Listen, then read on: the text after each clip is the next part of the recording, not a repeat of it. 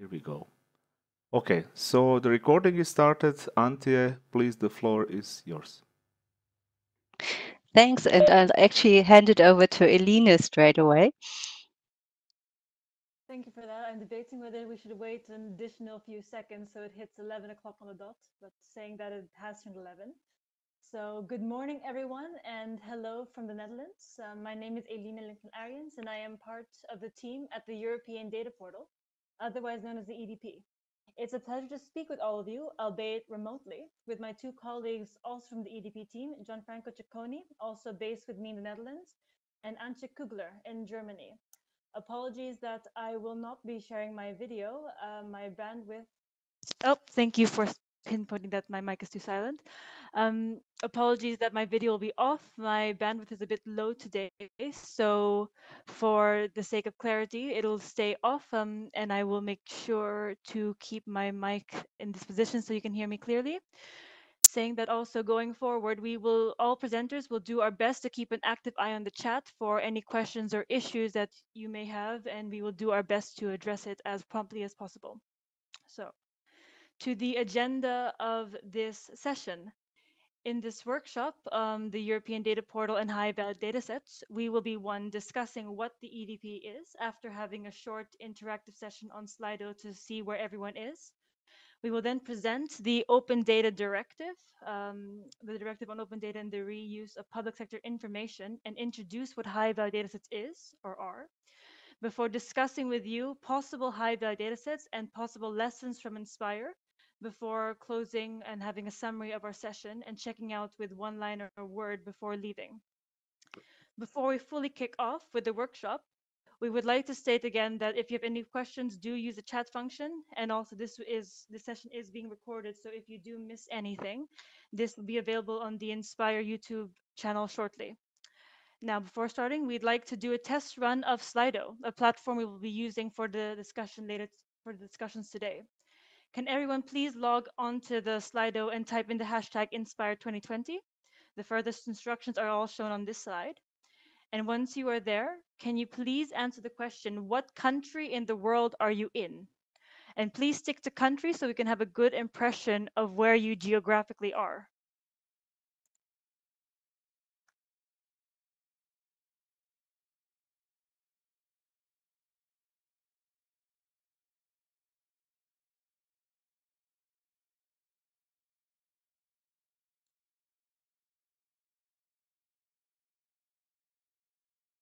We have clear majority so far.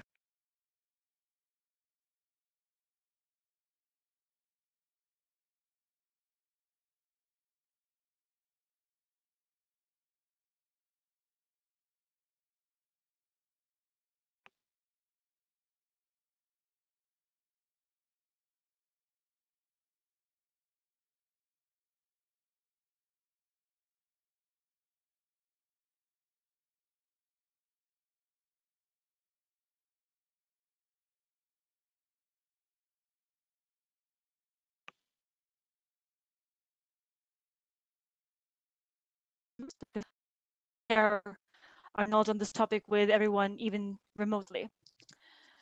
I think we can close off the, so even more answers are trickling in.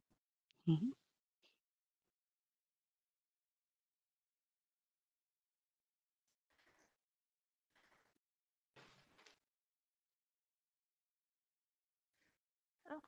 So it seems the majority of um, our participants seem to be in Belgium, Germany, and the Netherlands, France, and the UK. Again, hello to all of you and welcome to our remote um, online session. Now that we have an idea where everyone is in the world, let's get to the workshop.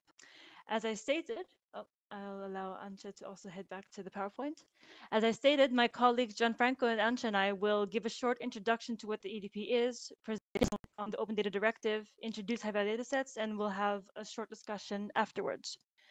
Firstly, to begin with, the European Data Portal is an EU initiative that aims to improve the accessibility and increase the value of open data across Europe. Here, accessibility is how we can access the information, where we find the data, how the data is made available in the first place, and in what languages they are published and shared in. The value here also involves looking at the purpose and the economic gain of using the open data and asking questions such as what is the societal gain and what is the democratic gain, for example. What the EDP does is address the whole data value chain from the data publishers to the data reusers.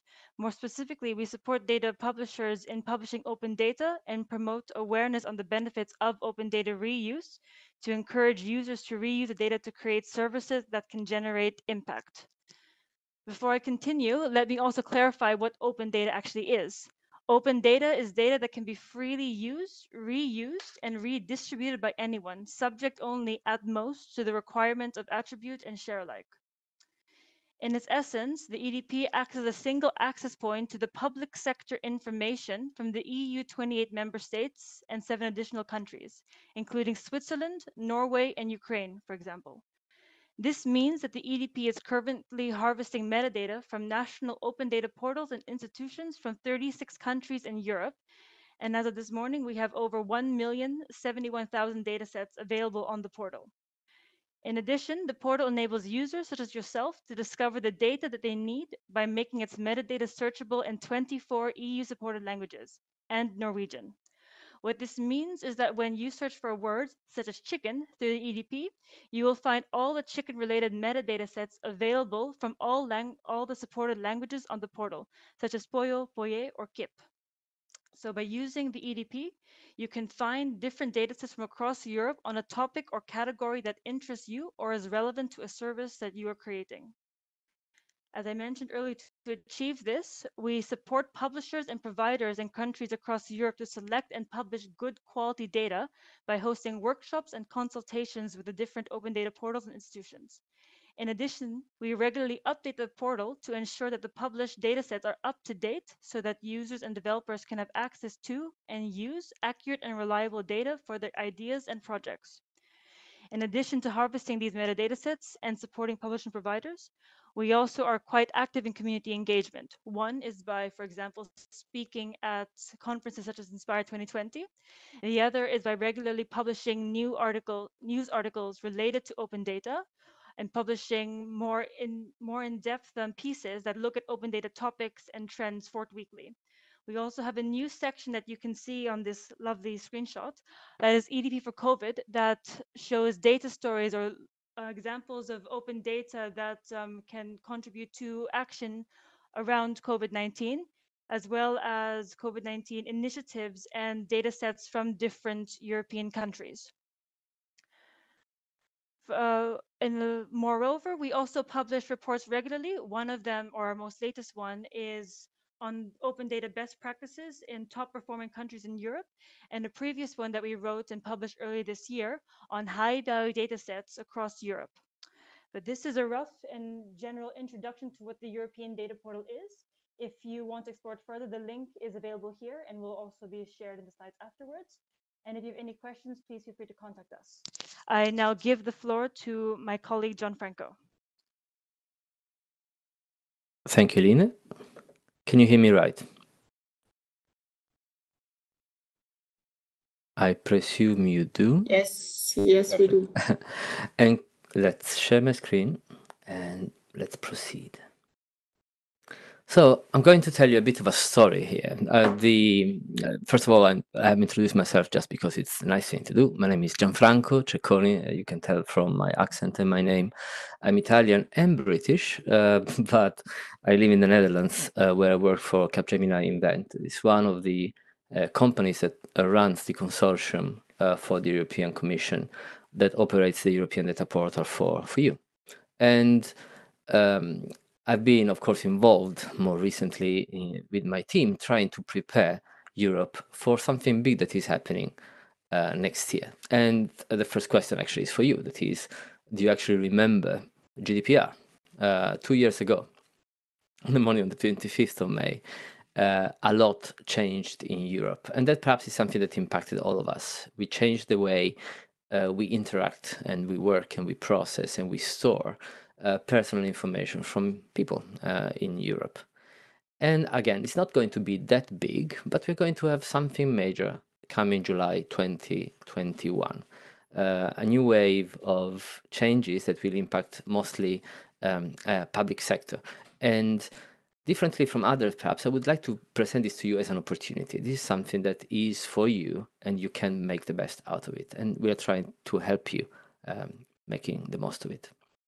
So what's going to happen is that the Open Data Directive is going to become enforceable uh, after two years, let's say, of um, a waiting room, as it usually happens with this kind of uh, pieces of legislation. On the 17th of July, uh, all public uh, organizations um, and uh, um, other uh, public undertakings, so companies owned by governments, will be required to publish something called high value datasets.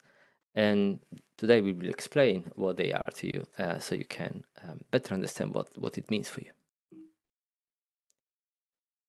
So you should not be surprised. Uh, the this directive that becomes enforceable next summer is actually the third of a series that has progressively over time uh, pushed the governments to open more and more data. The ones of you who have background in Inspire uh, will not be surprised to the idea of Europe facilitating governments to be more generous in sharing data uh, with their citizens. Um, the interesting bit of the latest one is that it ups the ante a little and it builds on top of a concept that for you, I guess, for most in this audience will not be new. That is open data. Eline introduced uh, this um, just before me. Uh, it's simply data that anyone can access, use, and share. And there was a general drive for all member states to publish this for a few years now. What changes in July is that we will also be required, governments will be required, to publish in the context of open data high-value datasets that are datasets their use of which is associated with important benefits for society, the environment, the economy, because they are very suitable for creating value-added services, applications, they will create jobs and so on. This is actually the definition that comes from the legislation. And of course, for some of us, we say, oh my God, no, another thing I need to be compliant with, boring. Uh, and yeah, it's true. There, there will be some degree of compliance. The ones of you who work in government, the ones of you who uh, are suppliers to government, perhaps are already involved in trying to prepare to what is going to happen, because there will be requirements like um, uh, changing the business model by which you can release this data in the open free of charge. Uh, you will be required to publish the data in machine readable format, while before perhaps you did not need to and uh, where relevant, you will need to publish data. You'll be required, not need, you'll be required to publish data as APIs. Uh, all of this may be new to, to many of you, but I would like rather to invite you to see it as an opportunity. So uh, high-value datasets will become some kind of flagship data resources that all member states will share. Uh, we will have around the same datasets uh, falling into this kind of hat and will enable delivering cross-border, cross-industry services that are data-driven that perhaps before were not possible. And again, I'm not expecting a revolution here, but we did not have anything before that was so strong and so heavily supported by law. Now, um, the European Data Portal, of course, because of its uh, mandate from the Commission to support Europe in finding out about open data and, and reusing it more, will definitely have a part in it. And you will hear more from us over time. Um, at the moment, the high-value datasets are not really even specified in detail, and, and Antje after me will tell you more about that. Um, but it's not just about open data. So the European Commission has been pushing heavily in general to promote better data sharing in Europe, whether it is open or controlled. Uh, and um, together with the European Data Portal, there's another initiative uh, like this one, the Support Center for Data Sharing, um, that is trying to help you getting more comfortable uh, with any kind of modality, technology, and legal implications of, of sharing that you may not be necessarily comfortable with. And perhaps uh, that's two slides from me just to get into the more interactive part of it. Uh, you may start wondering perhaps, okay, perhaps we don't know yet what those high value data sets will be in detail, but at least tell me what do you call value? And you saw the definition from the law. Two more uh, elements of support we can give you are those two reports coming from the European Data Portal. The one to the left, uh, um, sexily called Analytical Report number 15, or High Value Datasets Understanding the Perspective of Data Providers, is a study we've done at the end of last year, working with uh, a few countries in Europe to get their expectations specifically related to uh, to their work. Uh, they volunteered to help us there, so they described what they would call the high-value datasets if they worked autonomously, if they had the choice, what they consider important, how they would they measure that value. And the second report, the one to the right, the economic impact of open data, is a major piece of research we developed last year, also available for you. Both reports are available on the website for free, um, that describe extensively, qualitatively and quantitatively, how you can measure the value open data created in Europe for the economy, whether in terms of actual businesses or jobs or uh, improvement of the quality of life of people. Uh, so rely on this. They will be giving you amazing examples on how you can, in a way, build up your mind of what to call value. So where we are in the timeline and and and why it is interesting now. So we are still in the first phase uh, to the left. So we are still specifying them. Uh, the European Commission at the moment is working on a process by which they are, um, let's say, knocking on doors on all member states and uh, public agencies and uh, local administrations through the help of the member states to find out what does what do what should this high value dataset look like. This process will end sometime in like september october when um, an implementing act so-called will be uh, written that uh, adds to the directive the actual specifications of, of those high value datasets that are the same for every member state.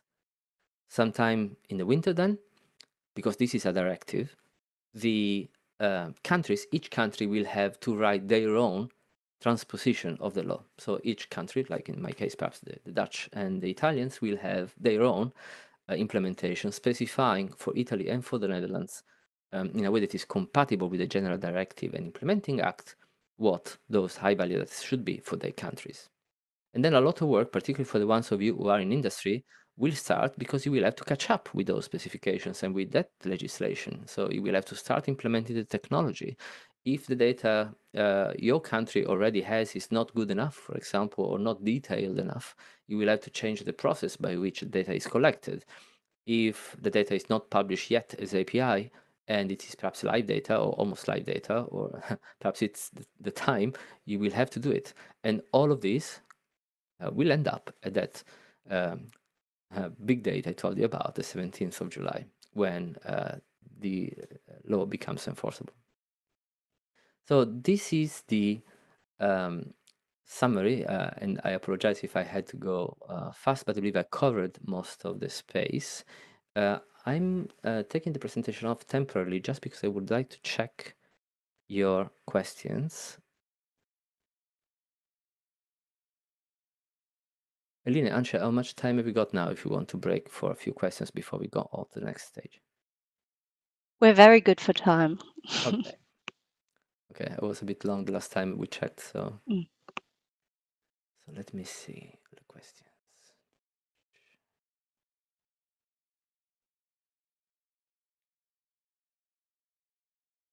So far, there seems to be none in the chat, but oh, Yeah, I'm trying to find the window now. Mm-hmm. We have one coming in from Marcus.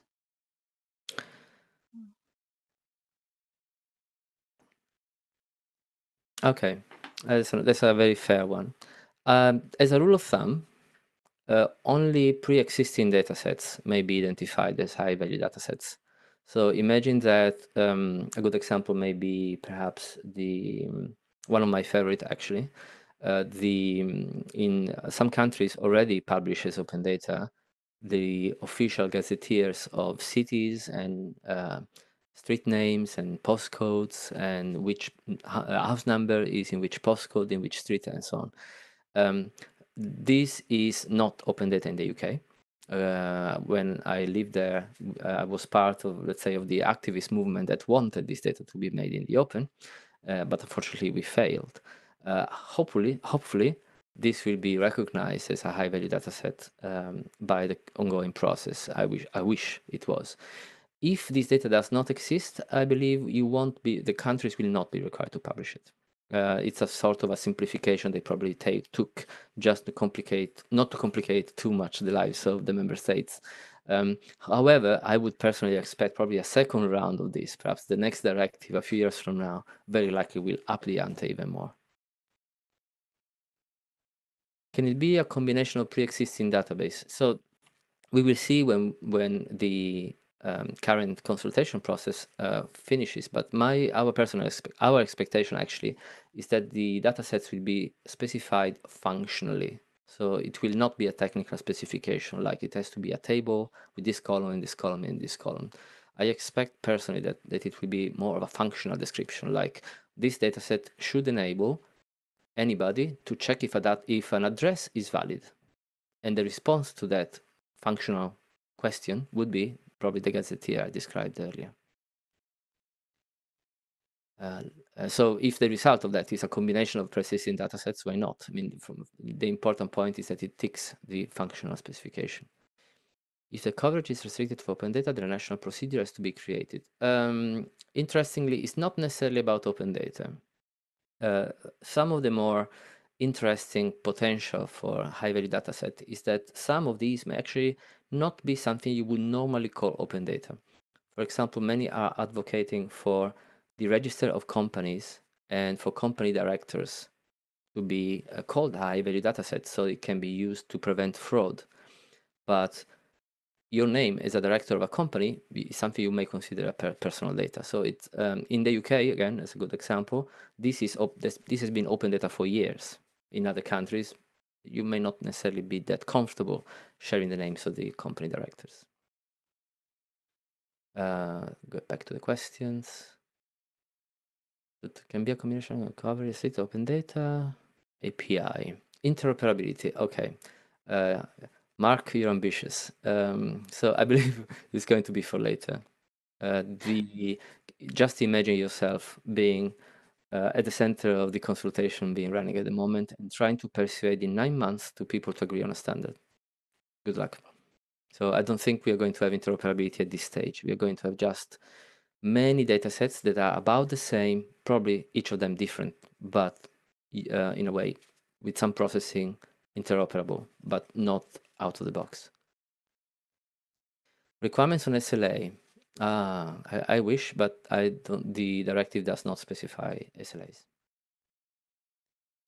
Martin, uh, what are the HVDs he prefers to have from geospatial datasets? Okay, the only thing we know is that the directive has specified uh, six or seven target categories, one of which is geospatial data and one of which is meteorological data. Again, not strictly geospatial, but you know, I would, I personally would see it close. I know people will disagree with me.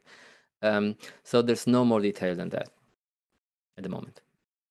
Frank, I think you missed one question. Will there be a link between Inspire Annex 1.3 um, themes and high-value datasets?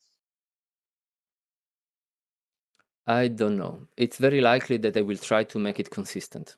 They, they would, eh, we, we don't want them to be contradicting each other. Uh, it's very likely that whatever is already today mandatory under Inspire would be an easy win to be called an HValue datasets as well. So that's the obvious thing I would expect. Um, generally, I believe the commission, this is a personal opinion, I'm not talking uh, in name of, of the commission here. Um, I believe the Inspire was very heavy on the practitioners, was very difficult, very, very strict when it came out. I believe high value datasets uh, wants to be a bit more relaxed from that point of view. Uh, also the point about interoperability we made earlier. Um, the probably they are trying to get the data out faster and uh, without perhaps the higher quality and interoperability standard you would have from Inspire, um, rather than waiting for this to be more perfect, if you can say that. Uh, still going through the question. Uh, Natalie, but I've noticed that it is not easy to map the Inspire themes and spatial datasets with the current EDP classification. Will you consider that in the future? That's an interesting one. Um, I'll suggest we continue this conversation offline. Uh, the there is a plan to do more in geospatial data because it is so such a large space, but it's not something we can we should go in, in detail now. Uh, but get back to us, Natalie, because it is uh, a topic we want to deliver anyway. Uh, Thorsten, we are currently experimenting with large-scale data harmonization in the context of these data sets in the frame of the GOPEG project. Uh, I guess on H 2020. There are specific data sets in roadmaps that will underpin circular economy transitions. Uh, no, I don't know. Uh, it's the point I made earlier. You're going too much in detail for what is available at the moment. Saulius, will Commission suggest a generic open license agreement for HVDs like Creative Commons? Ah, that's a nice one. So the directive uh, does not specify that. Uh, in the same way, the previous directive did not. So there is a general requirement to the member states to publish it as open data, but there is no strict definition of open data, interestingly. So you will see that some countries, for example, prefer uh, public domain or CC0. Uh, some other countries pre prefer Creative Commons. Some other have their own, uh, like Britain has the uh, Open Government License. Europe does not want, for the time being, to put their nose um, into uh, harmonizing the licensing as well. Wow, I'm a, I'm a fast responder, am I? How far are discussion negotiation? Um, we don't, we cannot know. This is happening, uh, I would say, behind closed doors. Uh, the member states are involved, but we ourselves um, are not part of the process um, we will be consumer, let's say, of that process when it starts publishing its results. It's going to happen later this um, this year. Okay. Uh, time and over. more questions coming in? No. Oh. Oh, yes, there's one. Uh, Antje, keep my time if we can keep more questions at the end. If Yes, we, we do have a few more minutes if you have time to um, to maybe answer um, Rink's question, how far are the discussions, negotiations going on with in regard to the high value data sets? You're just saying it's a work in progress right now. Yeah, I mean, the as much as the concept is clear because it's written in law, uh, and of course in, in our work at the European Data Portal, we interact with the Commission systematically. We are not part of that process, so we are here in a way to help you prepare uh, but we we cannot we can only speculate about it and and Antje later will actually share some of our expectations but it's not something you should take a screenshot of and start working on because it's it's not something that is public yet. Um, uh, the and again if we i would keep the the remaining question for the end but just imagine yourself being part of this process and how complicated it is. Uh, the potential impact in some cases on the um, personal data sets, uh, the discrepancies in detail and granularity of the target um, data sets that may require significant investment from some of the countries in respect to other countries that perhaps are ready. Um, there, there would be a, a, lot of negotiation that we are not seeing at the moment, and I, and I fully understand them. Um, so be patient a little longer. And our suggestion generally is simply to uh, to be prepared for when that happens and possibly uh, anticipating some of those moves. Um, but it's something perhaps for, for later, a conversation more for later. Antje, I would give it back to you. Okay, great. Thank you.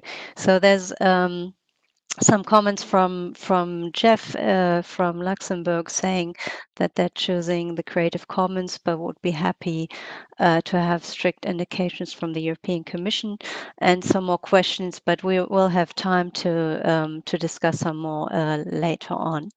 So um, let's move on to the uh, to the interactive part now. And before that, um, let me just share my screen. Um,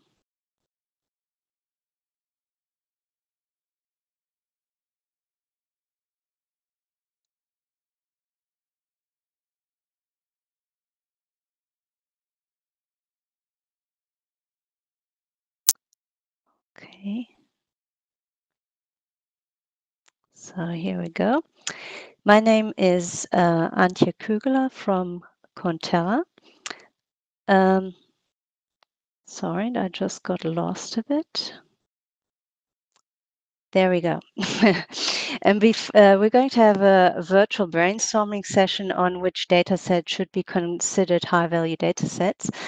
And before we do so, let's have a quick recap of what uh, Gianfranco was telling us about high value data sets. So here's a summary of the definition from the Open Data Directive, which uh, Gianfranco quoted earlier. Um, so high da value data sets can be reused to create value added services which can have important benefits for society, the environment, and the economy for a high number of potential beneficiar beneficiaries. So um, it's it's quite um, a broad um, definition. Uh, so the goal is to actually have benefits for society, the environment, and the economy. And um, as Gianfranco stated before, it's not yet known to the public what will actually be considered high value data sets. So uh, at this point, it's a bit like looking into a crystal ball. But we'd like to do that anyway uh, as a group with, uh, um, with this brainstorming. And um, of course, we don't need to stand uh, to start uh, just from scratch because the Open Data Directive does list some thematic categories um, and I've, I've seen from your question, there's no mapping to the Inspire Annex themes yet. Um, and so um, there are six categories uh, that are being listed and also some examples what, uh, what type of data might fall under these uh, or might be understood uh, to belong to these uh, uh, categories. And I'm not going to read all the examples, but only the thematic categories. And the first one, which um, I quite like, is geospatial. Second one is Earth observation and the environment.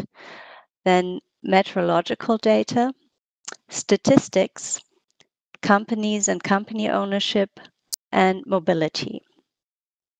It's quite a broad spect spectrum of thematic categories. And um, which uh, data sets could actually be considered a high value data uh, set, which uh, you find valuable and um, would be very um, well suited to create uh, value added services. Um, we'd like to uh, do this in a Slido. I'll call it discussion. It's like a virtual brainstorming. Um, so I'd ask you to um, please go to Slido. Um, uh, we've did we've done this um, we've done this before, uh, but now um, you you actually have um, have a thing where you, you can enter uh, some some input. So we'd like you to think about what you would consider a high value data set. And um, as participants enter the idea uh, ideas and i see you're already starting to type these will be listed and visible to all. So um, if you have an idea you might uh, want to check if someone has already entered something that you you wanted to add and you can vote for this idea. And the most popular ideas will be listed on top. And um, we'll give you 10 minutes now to um, to input your your ideas and then have some time to uh, go through all the ideas. And you see lots of people are, are already typing. And uh, like you to um, yes start typing and reading yourself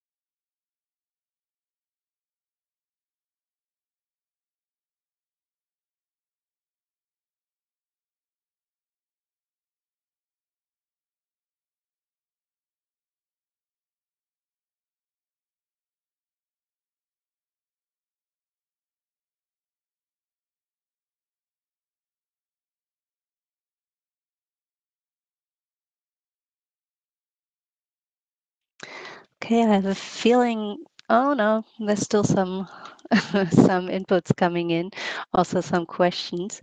So why don't we just um, start going through the li- list? You're still uh, you're you're quite uh, welcome to to add more um, items if um, as as you think of them. And uh, what you can also do is um, vote for um, if you find that um, uh, you agree with uh, what's what's being said, you can also place more than one vote for um, for certain ideas. Um, please feel free to do so, and they will be listed um, in the in the um, in the order which um, they're voted for. So the one on top right now is uh, actually quite a bit, uh, quite, quite a big list. Addresses, place name, administrative boundaries, uh, transport networks, uh, land. Actually, can I make this a bit smaller? Hmm. Yeah, there we go. Land, land parcels, and land cover. Uh, then we have high resolution soil and surface geology. Oh, someone's saying Inspire Annex 1, all of them. There's actually quite a bit, quite a few votes for that. Um, then traffic, air pollution, energy resources, also quite a few votes. Energy consumption,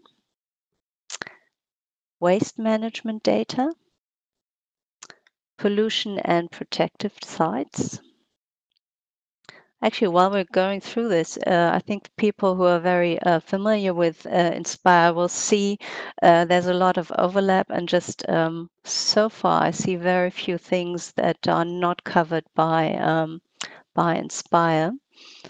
Um, then we have transport networks, administra uh, administrative areas, and place names. All Annex 1 data. Yes, we've had that before hydrometeorological data, healthcare capacity of the different EU countries and their regions, natural hazards, public transport timetables and real-time updates. Oh, something just jumped. Um, geology hydrogeology, mining, and geological hazards, hazards and climate risk areas, natural risk zones. I would love to see material, uh, material uh, materials database for asset life cycle and recycling potential. Mm -hmm. Geologic underground data, salt domes, groundwater streams green areas and their accessibilities in cities, standardized information of the official street maps, georeferenced information of industrial areas, energy resources and water, topographic database, uh, Inspire 1 and uh, Inspire Annex 1 that derives from the member states' authoritative data, Inspire Annexes 1 and 2, Okay, so we see a lot of that. I just got lost. Um, I think this is because of the voting. So if I skipped something, uh, I, I apologize for that in, advance. There we go. Hazard and climate risk areas, um, data that is not strongly addressed by Inspire, especially or example health and energy. Natural risk zones, um, we saw these. Air quality, water quality, species distribution, waste distribution, all environmental reporting data, statistical, geospatial, and others. Bathymetric data, addresses and transport networks, Annex 1 data, uh, Annex 1 ex except for the coordinate reference systems, um, which is not a data theme, so makes sense. UK soil data, including soil carbon levels and surface geology. digital road maps that include the current traffic signs and different traffic incidents, cycle lanes, addresses, place names, street name, transport networks, transport services, cadastral parcels, data sets uh, containing a combination of spatial objects contained in Inspire conformant data sets, geology, addresses, uh, member states authoritative data. I think I'm, I'm uh, I, I get I'm getting the the same things now, which are jumping up and down because of the voting. Um, exactly, health data, data linked to economic processes, agriculture, very high resolution imagery, reference base maps as an easy access uh, to geographic data, sea regions, schools, recreation areas. Okay, I think I had those topography auto um, that's a lot of uh, annex one and two themes. Yeah, we've got recreation areas, schools, broadband, geographical reference information, Inspire 1 and 2. Entities, information taking away with, uh, away with unique identifying. Company census with ownership, including identity number, name, and address to identify, uh, I don't know, yeah, composition of product. Any data set that can be integrated into uh, easily into our current data sets and improve our models and insights. Okay. So there's more coming in now. Let's just move on. Uh, you're still welcome to do some more voting.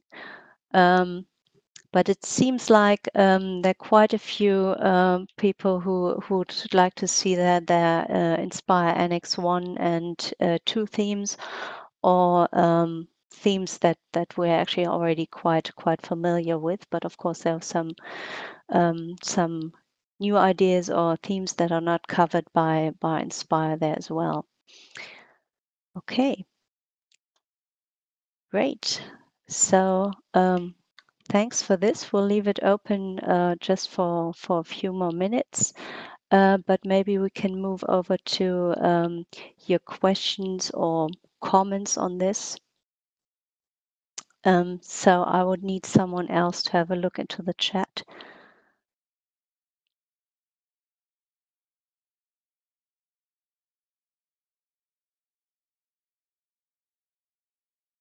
Or stop sharing the screen. Wait.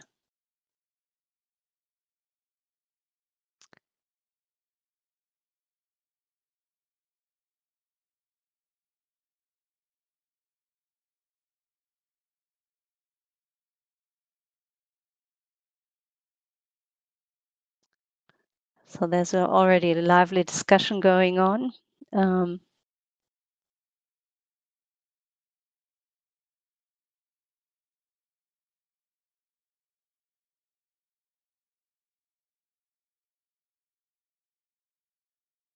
just looking for questions.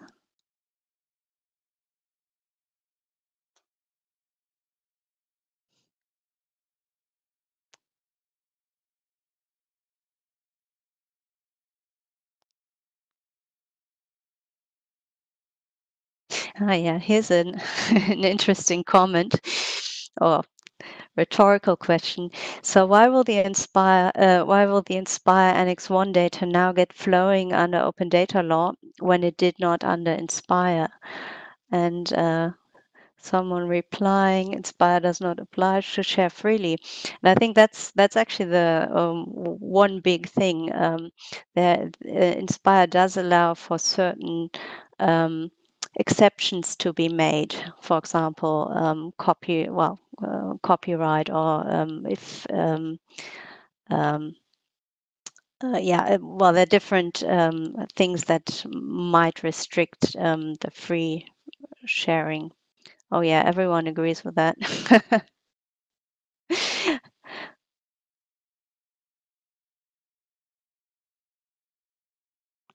So I'm looking if there are any questions here.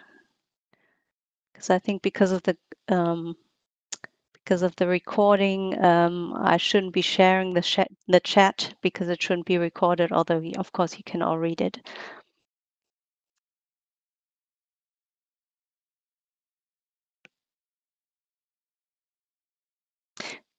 Yeah, there's someone commenting geospatial is not a thematic category, but a type that is applicable to all categories. That's actually what I thought as well. That's this whole discussion, which uh, which data is actually um, spatial and which isn't. And a lot of people argue that um, most data is uh, does have a spatial content there. Oh yeah, there's quite a few comments on that. Aren't uh, EO, meteorological, and mobility all geospatial. Okay, great. So we'd ask you to uh, please continue using the chat. It's uh, really interesting what's what's going on there, I guess. And um, we thought it would be nice to um, to have a quick break, five minute break for all of us uh, to I don't know get some coffee, run to to the bathroom or whatever you you might need to do.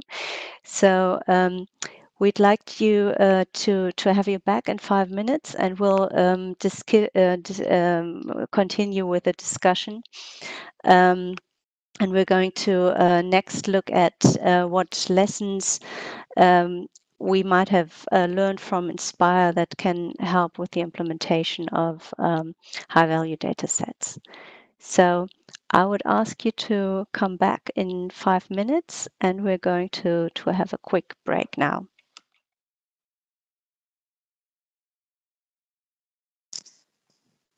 And in the time also you can still feel free to chat in the chat box and um, discuss with us or Antje and Gianfranco about any uh, current or ongoing questions.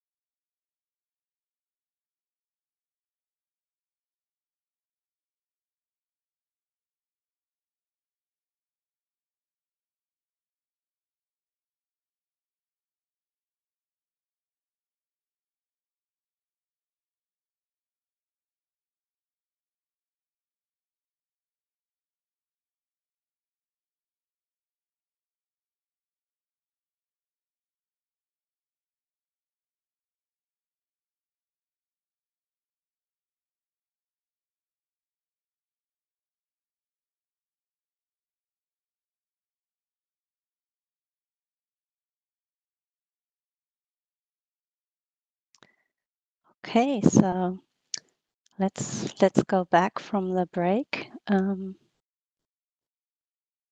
you can hear me, right? Okay.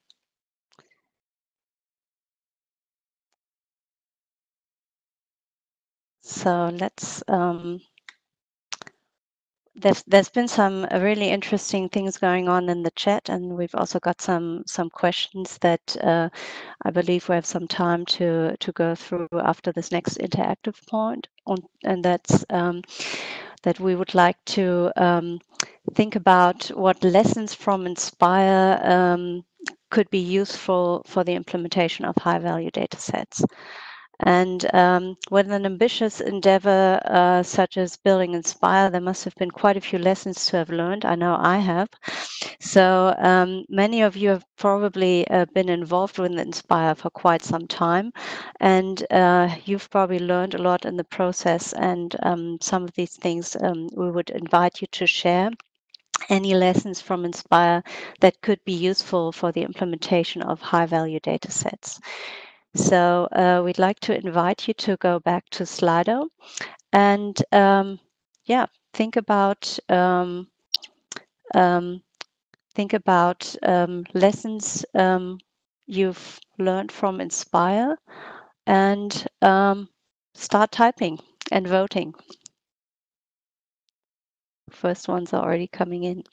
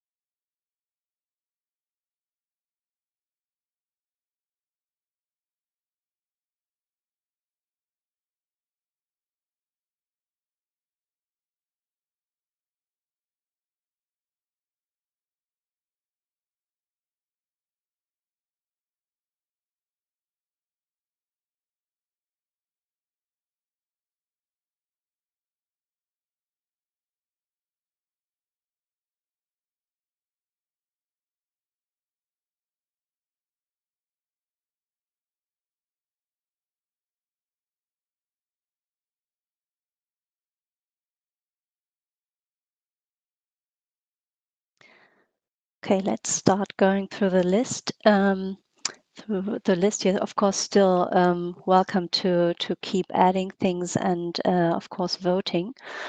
Um, the one that seems to be most popular right now is the first one here. Technical specifications need to be simplified for non-specialist uh, data providers. The second one's similar. I think um, uh, data structures have to be easy. Then provide high quality data, uh, sorry, provide high quality central tools early in the process. Um, for example, the ETF validator was five years too late. Um, then complexity and requirements hurts a use of data in real businesses. A single national data set published by a coordinated process is better than multiple regional submissions. Yes, I think a lot of people would agree to that, and a lot do. It's been voted quite a few times. Focus on demand, uh, not a lesson from Inspire. okay. Of course, you're welcome to um, to uh, to enter any um, um, any suggestions, uh, be they learned from Inspire or not. Um, some member states don't care, no matter how easy. Um, legislation helps to bring things forward. Uh, voluntarily, may, maybe won't do it. To define clear and few priorities. Skip the harmonization part to get started quickly. Unharmonized, uh, unharmonized data is better than no data. Quite a few people agree with that. One size, one size does not fit all. Inspire's too complex for data providers. No tools were available for a long time.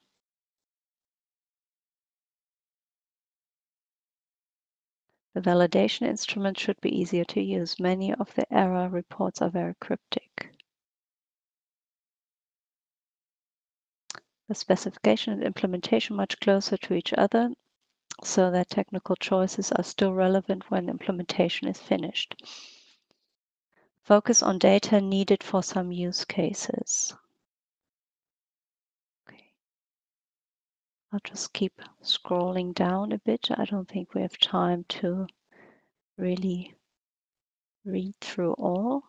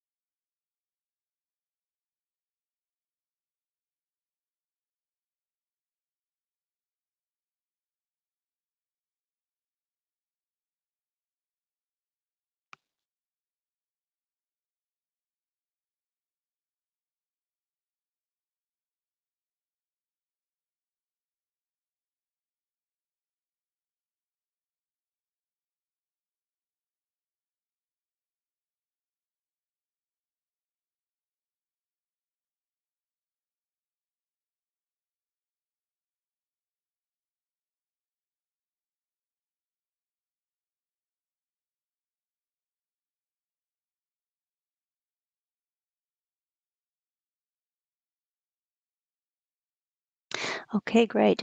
We will uh, definitely uh, do an export of um, all these uh, results from um, um, and all your, your input and uh, publish it on the European Data Portal uh, along with a short report of the session. And um, now that I see that here's some some question as well, we can maybe move on to the discussion and the um, some more questions. So here's one from Stefan. Um, if Inspire did not manage to provide interoperability and high value data sets um, does not aim to, how will this improve? So this is a good question. We should probably have a look um, at the chat. Or maybe um, Gianfranco, do you want to take this? There's a, a general, um, let's say, line of thought from, from the messages I see that is um, why already Inspire, in a way, sometimes did not provide to the public data that is good enough uh, or at the level of quality we would really need that is good for society. The way I see it personally, it's all a matter of incentives. Um, so the, the member states that, that believe that Inspire useful, the member states that believe that open data is useful, will it's like they're invited to a wedding. Oh, oh yeah, let's do it. Uh, uh, and perhaps they're doing it already. The, for the others, we'll be seeing just one more piece of legislation to be compliant with. Uh, and that I believe is the same problem we, we had with Inspire, we will have with uh, the H-value datasets. Uh, because of the extremely fragmented heterogeneous picture that Europe needs to deal with, the requirements, the functionality, the functional specifications of those datasets will be inevitably a bit my my expectation at least a bit watered down a bit diluted not as strong as we would like them to be as professionals as practitioners. But they are more than nothing. They are still a, a step in the right direction. They change the culture over time. Um, some of you earlier in the chat was writing why uh, don't we all use uh, public domain? Or why don't we even have a formal open data license written in the law and the only reason is that uh, already at the time of Inspire, we were not ready. The culture was not there. Today, for most of us in this call, probably we are perfectly comfortable with the idea of open data. Try to do the same 20 years ago and see what happens. Um, times have changed slowly. Um, and yeah, I'm, I'm sorry, I made a little speech in the end. I'm sorry to the question. I think that's uh, one of the questions that's being um, that's being asked uh, actually uh, quite a few uh, questions in the chance uh, in the in the chat are going around that that um, that idea. Um, how about costs? Gianfranco, do you know? Yeah. So you... the um, there's a um, very common way of a um, very easy way to see H value datasets that is like a a piece of national infrastructure like you you, I, wonder uh, how do you pay for roads? How do you pay for bridges for your for the sewers and so on with, for the police? You pay with your taxes. These data sets are considered so important that you don't need a specific funding. This is the idea. In theory citizens through taxes will fund it. Um, the alternative would be uh, alternative business models for some of those member states or and agencies where data today is commercialized. Uh, it's very easy, for example, that ordnance survey uh, in the UK or cadastral agencies in general usually have uh, commercial products related to most of this data we would like to see open um, the my personal expectation is that they will just need to change their business model around, and it will be painful at the beginning because nobody likes change if you're forced to by someone else. But um, it will be a natural process. So um, if you if you from the UK, you probably have seen the process by which Ordnance Survey, the cadastral agencies there, over many years has progressively pushed some of its products into the uh, uh, license out as open data and some other they kept commercial.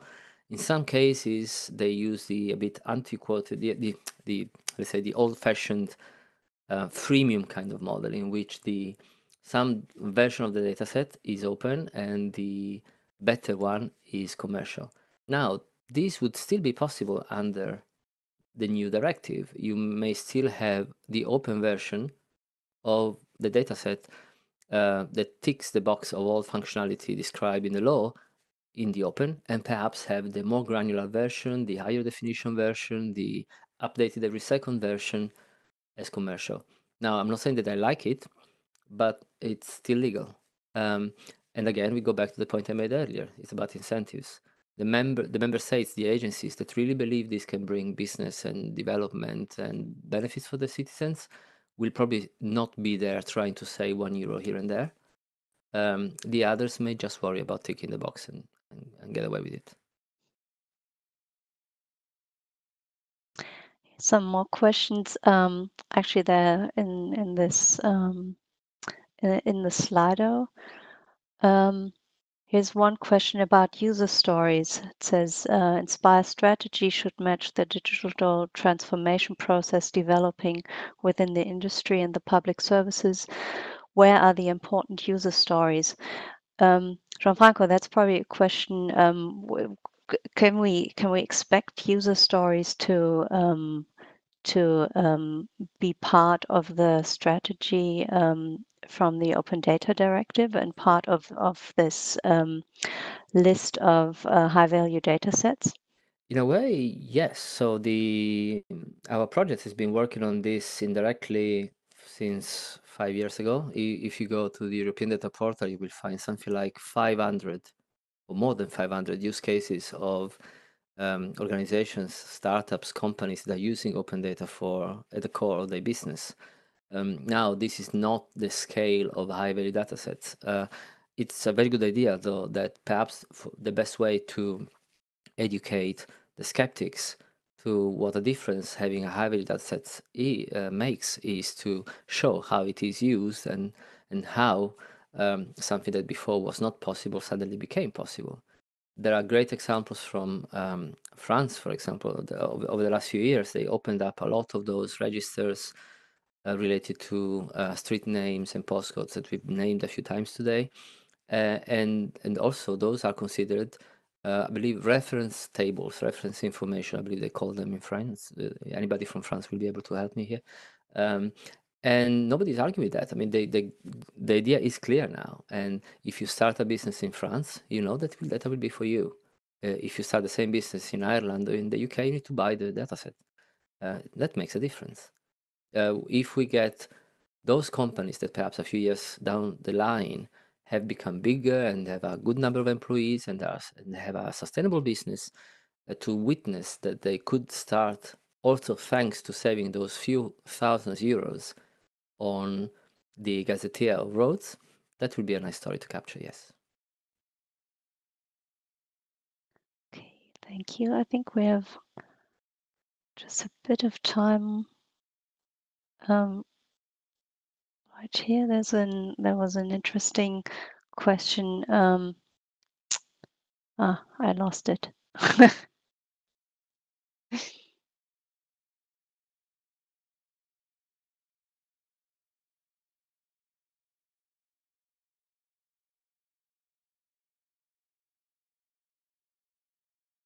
no, I did lose it.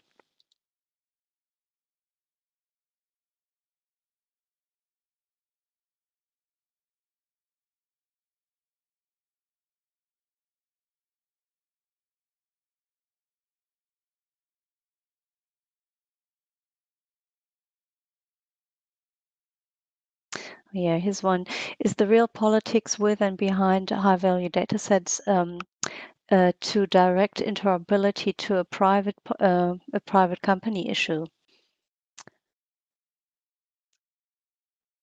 Mm, that's a difficult one So, yes, quite a few tough questions being Yeah. asked. Yeah. yeah well uh, i like them um,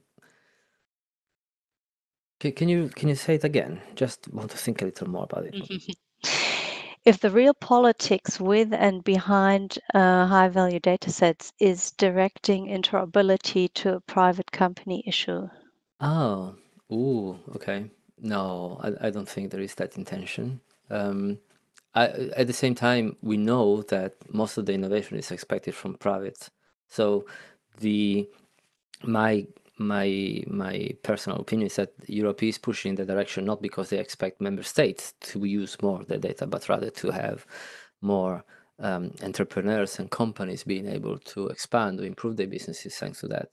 If you go to uh, those reports I presented earlier in the presentation, you will see how a lot of the examples we present, uh, like in the economic report on the value of open data, actually comes from private sector, um, and those perhaps makes a lot more of a difference than um, than the public. You may say, "Oh, it's obvious that the public sector uses reuses open data. It's less obvious than private does." Um, but yeah, I don't think there is a drive to help private sector in a way that is unfair or disproportionate. If that was the question. Okay, let's have a look at the chat. Uh, it's quite lively, but mostly discussions, I think. Uh, There's a nice line. Um, I see a few people commenting on address data already not being in the in the hands of government anymore. So if, remember I told you I was act, uh, an activist in the UK at the time. Uh, the postcode address file um, was owned by the Royal Mail, and Royal Mail was being privatized, and we did not manage to stop that from happening. So the uh, a data set that at the time was uh, owned by the government, not open data, but owned by the government, was sold and made private. So it's difficult to recover it. And there were some plans to buy it back uh, a couple of years ago, I believe, but I don't think they went through. Um, Margaret from Ireland was also commenting that the uh, the equivalent data sets, I believe, is owned by a private organization. So in those cases, probably there's not much we can do by using the directive as our instrument. It's more a matter of political will, perhaps, uh, to buy it back, which is feasible. It's technically possible, uh, but uh, again, it's, it's a bit of a long shot, isn't it?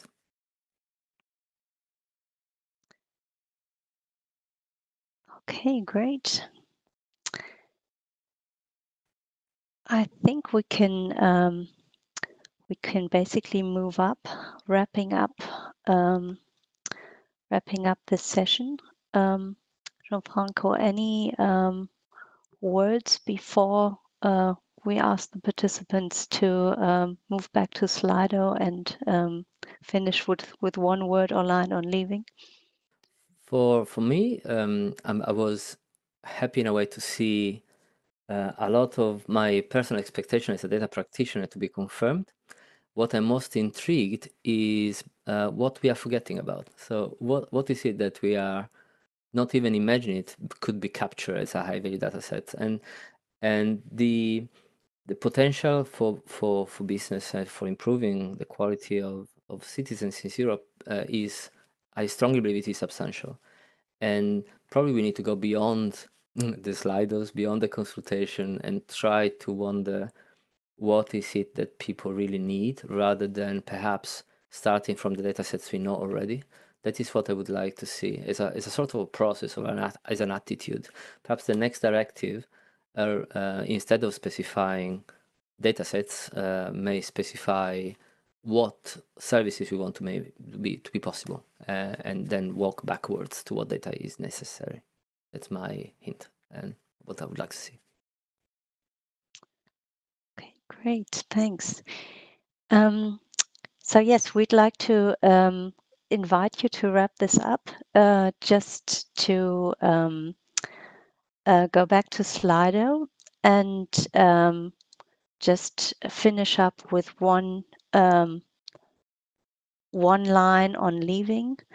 Um, you could, for example, um, just um, yeah, add something that surprised you or that you uh, would have liked to add and uh, didn't have time or a question or whatever. And um, we'll be we were actually quite um, quite happy about um, the lively discussions and um, the interesting um, inputs that uh, that you all did. So I guess this will be a very um, interesting uh, thing to watch um, within the next um, one and a half years to see how uh, the high value data sets will develop.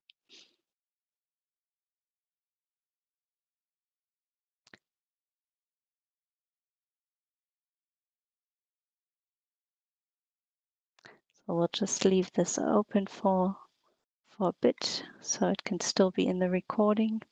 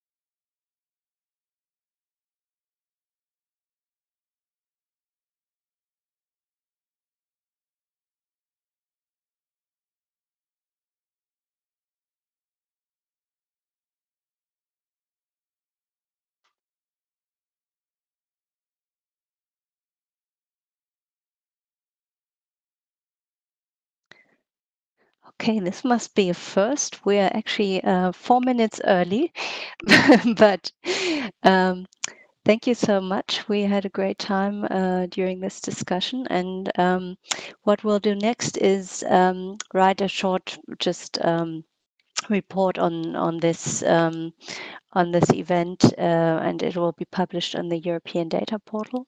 And of course, um, happy to keep um, with the discussion. Contact any any one of us uh, at um, Conterra or at um, um, at Cap Capgemini Invent. And um, yes, thank you so much. Take care. Thank you. Thank you.